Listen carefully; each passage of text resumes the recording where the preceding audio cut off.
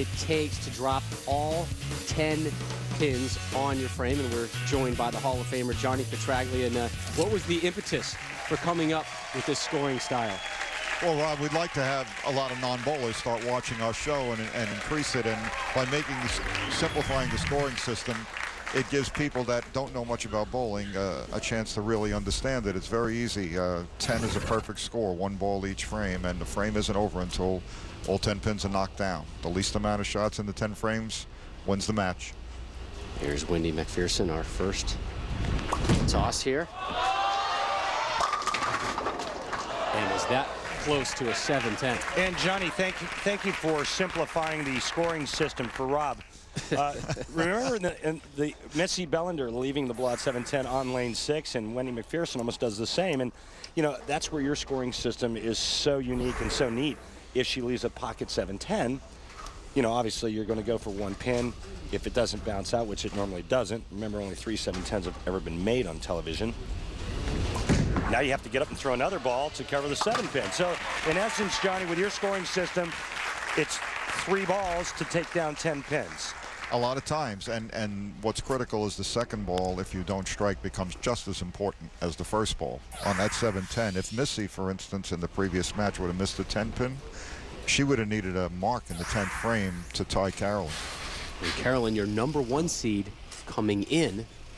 Now she's got a win here to move on to the championship match next.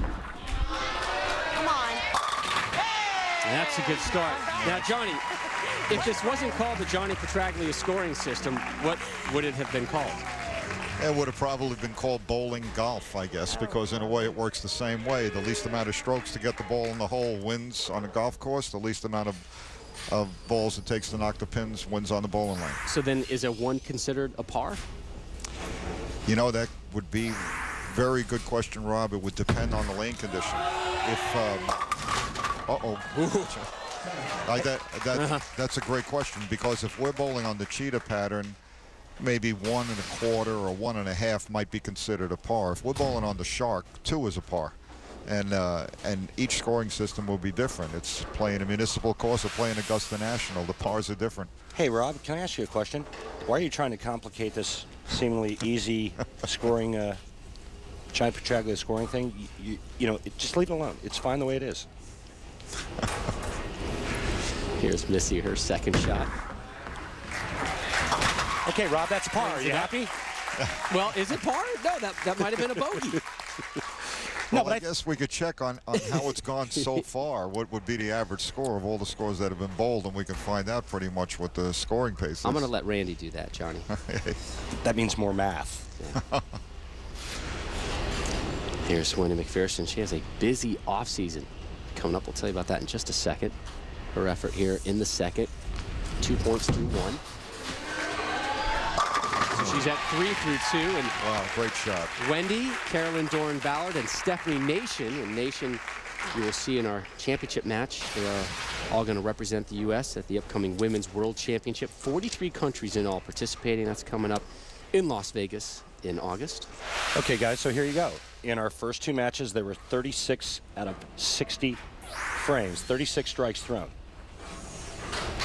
So about one and a half, a little bit less than one and a half, about 1.3 would be par.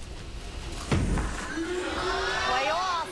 Whoa. Again, a big break and almost Wow. able to get all of them to drop. But you know, Johnny, she she talked about going to get different equipment. She didn't like uh, the way she matched up in her first match. She goes flush the first ball. That shot there goes right through the nose.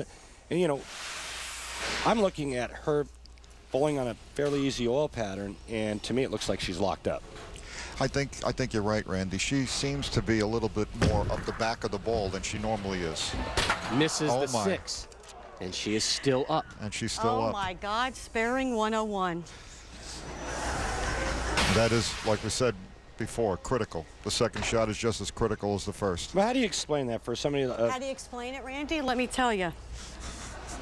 Go on, Carolyn. go ahead, tell us. We're waiting. And you look great in pink. Carolyn, what, one of the all-time great quotes this year telling me I'm, I'm part Czech, I'm part Irish. I like my wine. I like to argue. She was feisty. with Brienne earlier today. So, John, I mean, is that is that the residue of her trying to figure out why that last shot went high, and it's just a lack of focus while she misses that six pin? I think that's a very good point. I think that uh, you, you're concentrating so much on striking and hitting the pocket that when you hit the nose, why did that happen? You're taking the spare for granted. Missy Bellinder, her effort in the second. Almost, Boy, a, yeah, she's been dancing with that 710. almost hasn't another she? blowout 710, and it, it- you could see that that quite honestly, the angle is what's helping her get to the pocket. Watch the rotation on this bowling ball. There's a lot of spin to that rotation. Yes, there is. And again, it looks like back-to-back identical hits. Yeah, Missy's got that little bit of a spin biscuit so that it's it's scooting through the front half of the lane, saving all the energy for the back half, and it's really opened up the lane for her. In the second showdown elimination match, Missy had six strikes through the first seven frames, still seeking the first here. She does take care of the single pin conversion, so two points in frame number two, and Wendy Macpherson with the lead after two. More Women's Series Showdown presented by the USBC after this. house that didn't have a BC coming away from Lake Wales, Florida. Five down, five to go. To see who moves on to the title match. Coming your way, April 22nd, the PBA King of Bowling, powered by AMP. Chris Barnes will be there, as will the top 10 from the PBA Player of the Year point list, which was eventually won by Wes Malott. Wes Malott will begin as your king of bowling. Take a look now at the Cats comparison of our three bowlers right now. Boy, look how tight all these numbers are. The rev rates are almost identical right here, and that's why they're able to play pretty much the same part of the lane. Speed-wise, all right around 17, 18 miles an hour. So the only difference with the three players is direction of rotation. You're going to watch Wendy Macpherson here. She's got a lot more side roll than Carolyn Dorin Ballard. Wendy Mack, three strikes in five frames for seven total points using the Johnny Petraglia scoring system.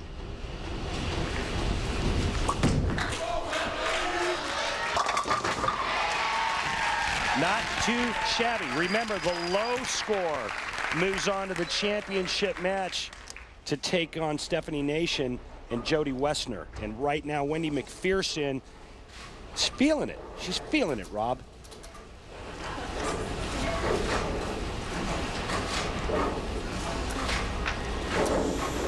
Carolyn Dorin Ballard. Three straight strikes. Looking for four in a row and five overall here in the elimination match.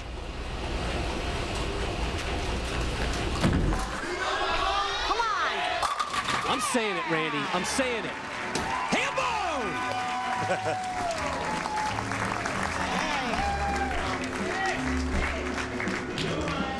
Four in a row for CDB. Rob, this bowling ball just hit as hard as you just hit me in the arm while you were singing Hambone. And she's, she's speaking of feeling it, boy, mm-hmm. she's getting locked in. Yeah. Missy Bellinder working off a strike, though, in the fifth. And there's three for her in the elimination match. And again, like we saw earlier in the day, when the smile is out, you know things are going all right for Missy. So there we are through six. If Wendy and Carolyn are tied, they would have a one ball bowl off.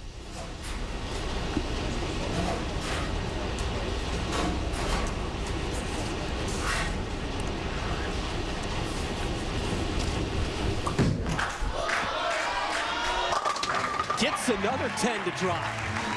And a single point for Wendy Mack in the seventh. Wendy won in Medford, Oregon to get her here to Lake Wales. And you see CDB flawless outside of that single pin spare that she missed in the second, which gave her three points. But because of the Johnny Petraglia modified scoring system, a strike here, and she will tie for the low lead.